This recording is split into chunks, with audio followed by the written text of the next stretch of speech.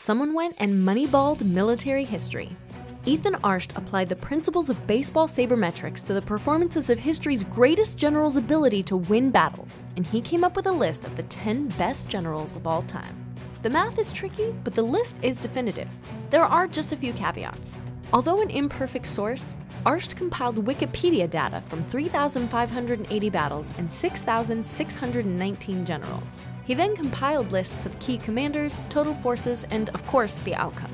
The general's forces were categorized and his numerical advantage or disadvantage weighted to reflect tactical ability.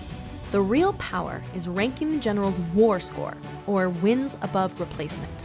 The more battles a commander fought and won, the more opportunities to raise their scores. But fighting fewer battles didn't necessarily help.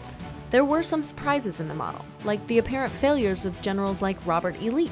For more modern generals like Patton, who didn't make the top 10, the relatively small number of battles commanded attributed to their absence. For more about Arsht's results, responses to criticism, and his findings, check out our website in the link below. Remember, this list has nothing to do with overall strategy, and it's all in good fun, so just take it easy, internet trolls. Okay, let's get started. Number 10 Alexander the Great. Alexander was born in 356 BCE, and he would go on to create one of the largest empires in the ancient world. He earned his first victory in battle at the age of 16 and became the king of Macedonia at the age of 20.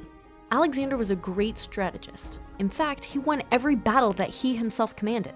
But since his life was cut short and he had only nine battles from which to draw data, it leaves the model very little to work with. Still, the conqueror of the known world is ranked much higher than other leaders with similar numbers, including the Japanese shogun Tokugawa, German Field Marshal Erwin Rommel, and Confederate General J.E.B. Stuart. It should be noted that Alexander's per battle war average is higher than anyone else's on this list. Number 9. Georgy Zhukov. Georgy Konstantinovich Zhukov is perhaps the most acclaimed Soviet commander from World War II. His victory at the Battle of Kursk, the largest tank battle in history, is remembered as the turning point in the war against the Germans, and his assault against Berlin in 1945 hastened the end of the war. Zhukov has only one more battle than Alexander, and his overall score barely squeaks by the Macedonian. Interestingly enough, his score is far, far above that of General Douglas MacArthur or Confederate Generals Jubal Early and John Bell Hood. That's what overcoming the odds does for your war score. Number 8. Frederick the Great. Frederick II ruled Prussia, a powerful kingdom within the Germanic Empire, during the 18th century. His military prowess expanded Prussian lands, and his political influence brought Prussia to the front of European affairs. Ruling for more than 40 years and commanding troops in some 14 battles across Europe earned the enlightened Prussian ruler the number 8 spot on this list. His per battle average was also lower than Alexander's, but on the whole, he was just a better tactician. Number 7. Ulysses S. Grant.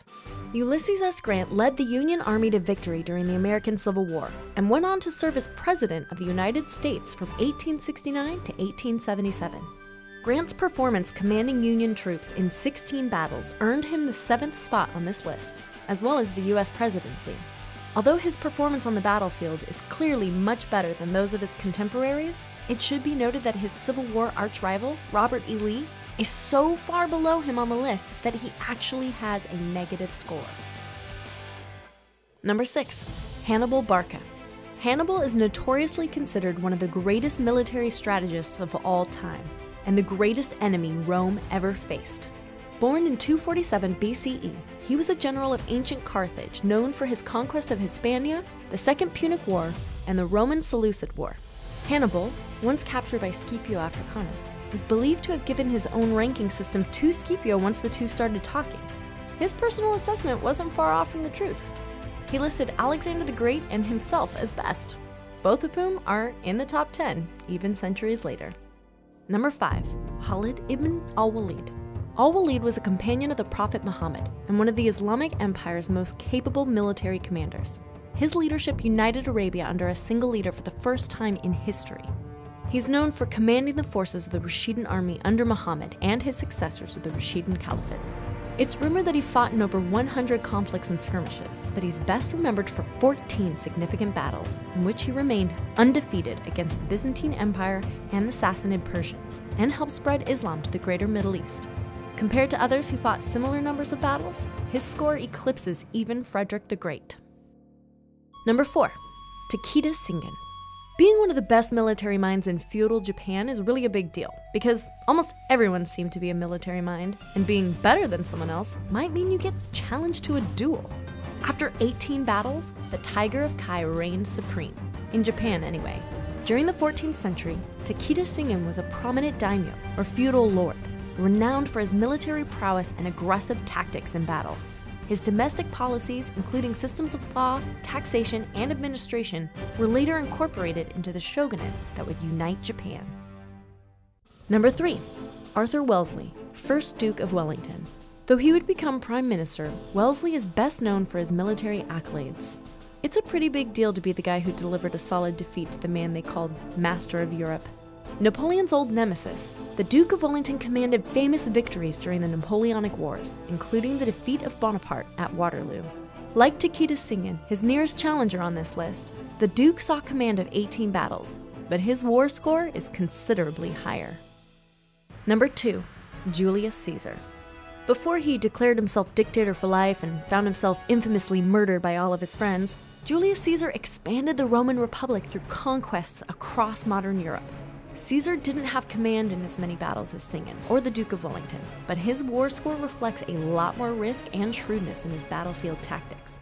But even Caesar couldn't top Alexander's per battle war average. Number 1 Napoleon Bonaparte. Yes, you might have guessed by now, but the number one spot belongs to l'Empereur. Napoleon is so far ahead of the normal distribution curve created by the data for these 6,000 plus generals, it's not even close. After 43 battles, he has a war score of more than 16, which blows the competition away. There could be no question.